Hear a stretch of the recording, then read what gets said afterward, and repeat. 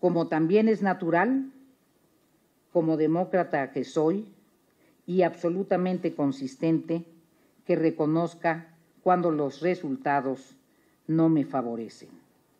Pero dimos el paso, empujando la participación democrática en nuestro país.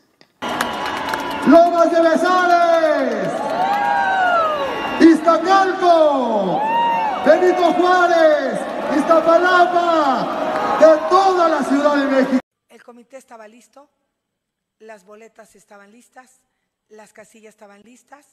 El día de ayer se conoció ya dónde iban a votar